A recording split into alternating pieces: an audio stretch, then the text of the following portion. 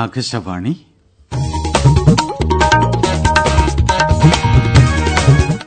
നമസ്കാരം പ്രാദേശിക വാർത്തകൾ വായിക്കുന്നത് ഹക്കിം കൂട്ടായി പ്രധാന വാർത്തകൾ പ്രധാനമന്ത്രി നരേന്ദ്രമോദി റെയ്സിന സംവാദത്തിന്റെ ഏഴാം പതിപ്പ് ഇന്ന് ഉദ്ഘാടനം ചെയ്യും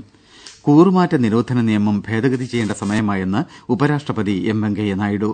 മുതിർന്ന കോൺഗ്രസ് നേതാവും വിവിധ സംസ്ഥാനങ്ങളിൽ ഗവർണറുമായിരുന്ന കെ ശങ്കരനാരായണൻ അന്തരിച്ചു നാവികസേനാ കമാൻഡർമാരുടെ നാലു ദിവസത്തെ സമ്മേളനം ഇന്ന് ഡൽഹിയിൽ ആരംഭിക്കും ഖേലോ ഇന്ത്യ യൂണിവേഴ്സിറ്റി ഗെയിംസിന് ബംഗളൂരുവിൽ വർണ്ണാഭമായ തുടക്കം സന്തോഷ് ട്രോഫി ഫുട്ബോളിൽ രാജസ്ഥാനെ തോൽപ്പിച്ച് ബംഗാൾ സെമിയിൽ വാർത്തകൾ വിശദമായി പ്രധാനമന്ത്രി നരേന്ദ്രമോദി റെയ്സിന സംവാദത്തിന്റെ ഏഴാം പതിപ്പ് ഇന്ന് ഉദ്ഘാടനം ചെയ്യും European Union president Ursula von der Leyen മുഖ്യാതിഥിയാകും വിവിധ രാജ്യങ്ങളിലെ മുൻ പ്രധാനമന്ത്രിമാരും മറ്റു പ്രമുഖരും സംവാദത്തിൽ വെർച്വലായി പങ്കെടുക്കും ഡെസ്ക് റിപ്പോർട്ട് പുതിയ ഭൂമി വികാരാധീനം അക്ഷമ ആഘാതം എന്നിവ അടിസ്ഥാനമാക്കിയാണ് മൂന്ന് ദിവസത്തെ സംവാദം തൊണ്ണൂറ് രാജ്യങ്ങളിൽ നിന്ന് ഇരുന്നൂറ്റി പത്തിലധികം പ്രഭാഷകർ റൈസിന ഡയലോഗിന്റെ നൂറോളം സെഷനുകളിൽ പങ്കെടുക്കും ആഗോള സമൂഹം അഭിമുഖീകരിക്കുന്ന പ്രധാന വെല്ലുവിളികൾ നേരിടുന്നതിനാണ് റൈസിന സംവാദം സംഘടിപ്പിക്കുന്നത് അന്താരാഷ്ട്ര നയങ്ങളിൽ വിവിധ വിഷയങ്ങളുമായി ബന്ധപ്പെട്ട സഹകരണം ചർച്ച ചെയ്യുന്നതിനാണ് എല്ലാ വർഷവും നയം ബിസിനസ് മാധ്യമം സിവിൽ സമൂഹം എന്നീ മേഖലയിലെ ലോക നേതാക്കൾ ഡൽഹിയിൽ സമ്മേളിക്കുന്നത് വിദേശകാര്യ മന്ത്രാലയത്തിന്റെ സഹകരണത്തോടെ ഒബ്സർവർ റിസർച്ച് ഫൌണ്ടേഷനാണ് സംവാദം സംഘടിപ്പിക്കുന്നത് പ്രധാനമന്ത്രി നരേന്ദ്രമോദിക്ക് പ്രഥമ ലതാ ദീനാനാഥ് മങ്കേഷ്കർ പുരസ്കാരം സമ്മാനിച്ചു മുംബൈയിൽ ഷൺമുഖാനന്ദ ഓഡിറ്റോറിയത്തിൽ പ്രശസ്ത ഗായിക ആശാ ഭോസ്ലെ ഉഷ മങ്കേഷ്കർ മീന മങ്കേഷ്കർ ആദിനാഥ് മങ്കേഷ്കർ എന്നിവർ ചേർന്നാണ് പുരസ്കാരം സമ്മാനിച്ചത് തുടർന്ന് സമ്മേളനത്തെ അഭിസംബോധന ചെയ്ത പ്രധാനമന്ത്രി നരേന്ദ്രമോദി അവാർഡ് രാജ്യത്തെ ജനങ്ങൾക്ക് സമർപ്പിച്ചു കൂറുമാറ്റ നിരോധന നിയമം ഭേദഗതി ചെയ്യേണ്ട സമയമായെന്ന് ഉപരാഷ്ട്രപതി എം വെങ്കയ്യനായിഡു പറഞ്ഞു നിലവിലെ നിയമത്തിൽ ഏതാനും പഴുതുകളുണ്ടെന്നും ഇത് മൊത്തത്തിൽ കൂറുമാറ്റം അനുവദിക്കുമ്പോൾ ചെറിയ കൂറുമാറ്റം അനുവദിക്കുന്നില്ലെന്നും ഉപരാഷ്ട്രപതി പറഞ്ഞു ഈ പഴുതുകൾ ഇല്ലാതാക്കാൻ ഭേദഗതി ആവശ്യമാണെന്നും വെങ്കയ്യനായിഡു പറഞ്ഞു പുതിയ ഇന്ത്യയിൽ മാധ്യമത്തിന്റെ പങ്ക് എന്ന വിഷയത്തിൽ ബാംഗ്ലൂർ പ്രസ് ക്ലബ്ബ് സംഘടിപ്പിച്ച പരിപാടിയിൽ സംസാരിക്കുകയായിരുന്നു ഉപരാഷ്ട്രപതി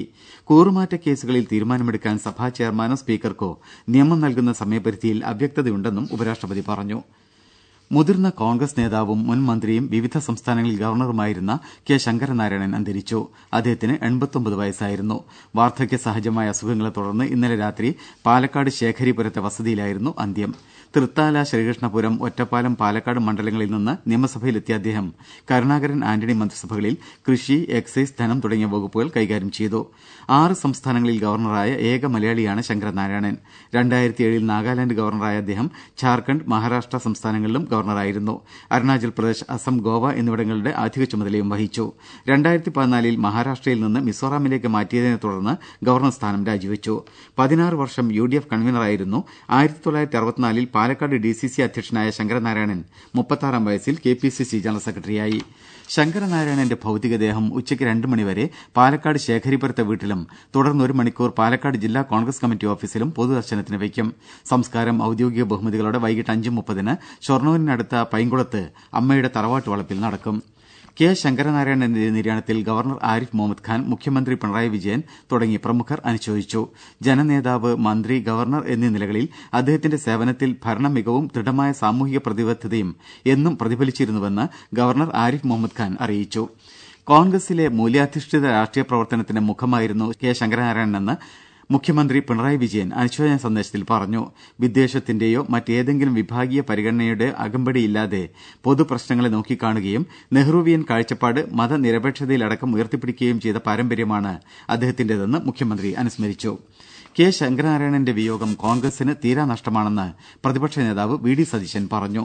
മന്ത്രിമാർ സ്പീക്കർ എം പി രാജേഷ് മുൻ മുഖ്യമന്ത്രി Oommen Chandy K P C C president K Sudhakaran Congress നേതാവ് Ramesh Chennithala C P I M സംസ്ഥാന സെക്രട്ടറി കോടിയേരി ബാലകൃഷ്ണൻ തുടങ്ങിയവരും ശങ്കരനാരായണന്റെ നിര്യാണത്തിൽ അനുശോചിച്ചു ജമ്മു കശ്മീരിലെ പുൽവാമ ജില്ലയിലെ പാഹു പ്രദേശത്ത് ഏറ്റുമുട്ടലിൽ സേന മൂന്ന് ലഷ്കർ എ തൊയ്ബ ഭീകരരെ വധിച്ചു പ്രദേശത്ത് തിരച്ചിൽ നടത്തിയിരുന്ന സംയുക്ത സേനയ്ക്ക് നേരെ ഭീകരർ വെടിയുതിർത്തതോടെയാണ് ഏറ്റുമുട്ടൽ ആരംഭിച്ചത് ഏറ്റുമുട്ടൽ രാത്രി വൈകിയും തുടർന്നു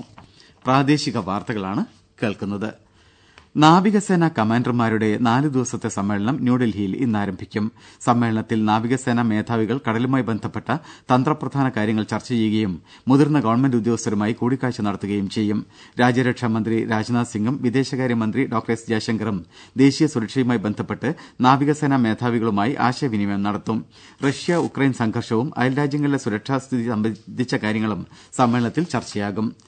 ഖേലോ ഇന്ത്യ യൂണിവേഴ്സിറ്റി ഗെയിംസിന് ബംഗളൂരുവിൽ വർണ്ണാഭമായ തുടക്കം ഉപരാഷ്ട്രപതി എം വെങ്കയ്യനായിഡു പത്തു ദിവസത്തെ ഗെയിംസ് ഉദ്ഘാടനം ചെയ്തു രാജ്യത്തെ ഇരുന്നൂറ് സർവകലാശാലകളിൽ നിന്നായി നാലായിരത്തിലേറെ കായികതാരങ്ങളാണ് ഗെയിംസിൽ പങ്കെടുക്കുന്നത് ന്യൂസ് ഡെസ്കിൽ നിന്ന് കൂടുതൽ വിവരങ്ങൾ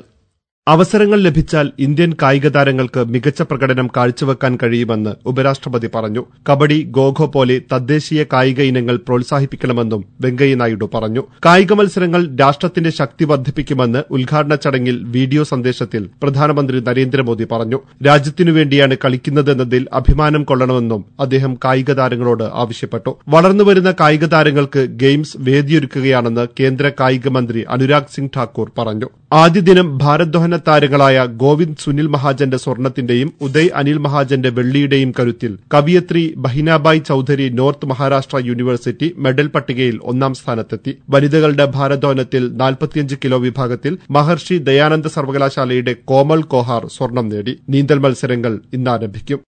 മലപ്പുറത്ത് സന്തോഷ് ട്രോഫി ഫുട്ബോളിൽ ബംഗാൾ സെമിഫൈനലിൽ പ്രവേശിച്ചു ഗ്രൂപ്പ് എ യിലെ മറ്റൊരു മത്സരത്തിൽ പഞ്ചാബ് ഒരു ഗോളിന് മേഘാലയയെ തോൽപ്പിച്ച് മൂന്നാം സ്ഥാനക്കാരായി കൂടുതൽ വിവരങ്ങളുമായി ആകാശവാണി മലപ്പുറം പ്രതിനിധി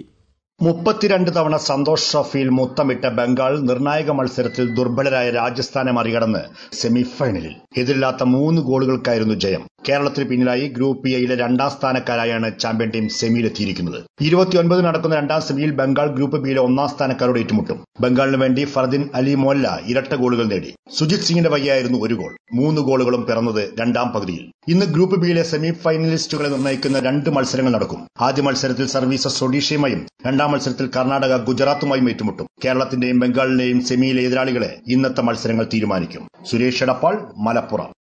ഐ മുംബൈയിൽ ഐപിഎൽ ക്രിക്കറ്റിൽ ലക്നൌ സൂപ്പർ ജയന്റ്സ് മുംബൈ ഇന്ത്യൻസിനെ മുപ്പത്താറ് റൺസുകൾക്ക് പരാജയപ്പെടുത്തി റൺസ് വിജയലക്ഷ്യവുമായി കളിക്കാനിറങ്ങിയ മുംബൈ ഇന്ത്യൻസിന് നിശ്ചിത ഓവറിൽ എട്ട് വിക്കറ്റിന് എടുക്കാനേ കഴിഞ്ഞുള്ളൂ മത്സരത്തിൽ സെഞ്ചുറി നേടിയ മുംബൈ ഇന്ത്യൻസ് താരം K L Rahul twenty twenty ക്രിക്കറ്റിൽ ഏറ്റവും കൂടുതൽ സെഞ്ചുറി നേടിയ കളിക്കാരനായി രോഹിത് ശർമ്മയ്ക്ക് ഒപ്പമെത്തി ആറ് സെഞ്ചുറികളാണ് ഇരുവരും ഇതുവരെ നേടിയത് ഇന്ന് വൈകിട്ട് ഏഴരയ്ക്ക് മുംബൈയിൽ പഞ്ചാബ് കിങ്സ് ചെന്നൈ സൂപ്പർ കിങ്സുമായി ഏറ്റുമുട്ടും മംഗോളിയയിൽ ഏഷ്യൻ ഗുസ്തി ചാമ്പ്യൻഷിപ്പിന്റെ അവസാന ദിവസമായ ഇന്നലെ എൺപത്തി കിലോ പുരുഷ ഫ്രീസ്റ്റൈൽ വിഭാഗത്തിൽ ഇന്ത്യയുടെ ദീപക് പുനിയ വെള്ളി നേടി ചാമ്പ്യൻഷിപ്പിൽ ഒരു സ്വർണവും അഞ്ച് വെള്ളിയും പതിനൊന്ന് വെങ്കലവും ഇന്ത്യ കരസ്ഥമാക്കി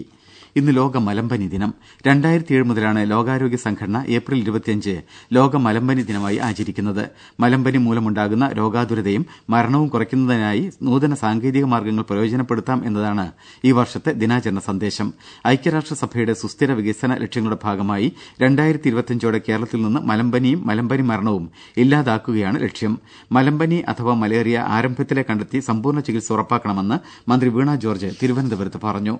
കേരള നോളജ് എക്കണോമി മിഷൻ പ്രവർത്തനങ്ങൾക്ക് തുടക്കം കുറിക്കുന്നതിന്റെ ഭാഗമായി എന്റെ തൊഴിൽ എന്റെ അഭിമാനം പ്രചാരണ പരിപാടിയുടെയും സർവേയുടെയും മാർഗ്ഗരേഖ തയ്യാറായതായി മന്ത്രി എം വി ഗോവിന്ദൻ അറിയിച്ചു കേരള നോളജ് എക്കണോമി മിഷൻ മുഖേന തൊഴിലന്വേഷകരെയും തൊഴിൽദാതാക്കളെയും ബന്ധിപ്പിക്കുന്നതിന് വികസിപ്പിച്ച ഓൺലൈൻ ഡിജിറ്റൽ പ്ലാറ്റ്ഫോമായ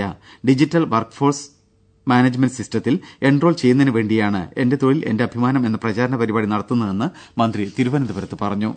കനോലി കനാൽ വികസനം സാധ്യമാവുന്നതോടെ യൂറോപ്യൻ മാതൃകയിൽ നഗരമാക്കി കോഴിക്കോടിനെ മാറ്റുമെന്ന് മന്ത്രി പി എ മുഹമ്മദ് റിയാസ് പറഞ്ഞു സംസ്ഥാന ഗവൺമെന്റിന്റെ ഒന്നാം വാർഷികാഘോഷത്തിന്റെ ഭാഗമായി നാളെയുടെ കോഴിക്കോട് എന്ന വിഷയത്തിൽ സംഘടിപ്പിച്ച സംവാദം ഉദ്ഘാടനം ചെയ്യുകയായിരുന്നു മന്ത്രി തൃശൂർ പൂരം മുൻ വർഷങ്ങളിലേതുപോലെ പ്രൌഢിയോടെ നടത്താൻ മന്ത്രിമാരായ K Radhakrishnan R Bindu K Rajan എന്നിവരുടെ സാന്നിധ്യത്തിൽ തൃശൂരിൽ ചേർന്ന യോഗം തീരുമാനിച്ചു പാലക്കാട് ആർ എസ് എസ് നേതാവ് ശ്രീനിവാസനെ കൊലപ്പെടുത്തിയ കേസിൽ രണ്ടുപേരെ കൂടി പോലീസ് അറസ്റ്റ് ചെയ്തു മുണ്ടൂർ ഒൻപതാം മൈൽ ഇക്ബാൽ ചടനാംകുറിശി ഫയാസ് എന്നിവർ സ്വദേശിയുടെ അറസ്റ്റാണ് രേഖപ്പെടുത്തിയത് ഇടുക്കി വണ്ടൻമേട് പുറ്റടിക്ക് സമീപം വീടിന് തീപിടിച്ച് ദമ്പതികൾ മരിച്ചു രവീന്ദ്രൻ ഭാര്യ ഉഷ എന്നിവരാണ് മരിച്ചത് പുലർച്ചെ ഒരു മണിക്കാണ് അപകടം പ്രധാനമന്ത്രി നരേന്ദ്രമോദി റെയ്സിന സംവാദത്തിന്റെ ഏഴാം പതിപ്പ് ഇന്ന് ഉദ്ഘാടനം ചെയ്യും കൂറുമാറ്റ നിരോധന നിയമം ഭേദഗതി ചെയ്യേണ്ട സമയമായെന്ന് ഉപരാഷ്ട്രപതി എം വെങ്കയ്യ നായിഡു മുതിർന്ന കോൺഗ്രസ് നേതാവും വിവിധ സംസ്ഥാനങ്ങളിൽ ഗവർണറുമായിരുന്ന കെ ശങ്കരനാരായണൻ അന്തരിച്ചു നാവികസേനാ കമാൻഡർമാരുടെ നാലു ദിവസത്തെ സമ്മേളനം ഇന്ന് ഡൽഹിയിൽ ആരംഭിക്കും ഖേലോ ഇന്ത്യ യൂണിവേഴ്സിറ്റി ഗെയിംസിന് ബംഗളൂരുവിൽ വർണ്ണാഭമായ തുടക്കം സന്തോഷ് ട്രോഫി ഫുട്ബോളിൽ രാജസ്ഥാനെ തോൽപ്പിച്ച് ബംഗാൾ സെമിയിൽ കഴിഞ്ഞു ആകാശവാണി വാർത്തകളും വാർത്താധിഷ്ഠിത പരിപാടികളും All India Radio News Calicut എന്ന യൂട്യൂബ് ചാനലിൽ ലഭ്യമാണ് കൂടുതൽ വാർത്തകൾക്കായി All India Radio News Calicut എന്ന ഫേസ്ബുക്ക് പേജും അറ്റ് ന്യൂസ് അണ്ടർസ്കോർ കാലിക്കറ്റ് എന്ന ട്വിറ്റർ ഹാൻഡിലും സന്ദർശിക്കുക അടുത്ത വാർത്താ ബുള്ളറ്റിൻ ഏഴ് ഇരുപത്തിയഞ്ചിന് പ്രത്യേക വാർത്താ ബുള്ളറ്റിൻ പത്ത് പതിനഞ്ചിന്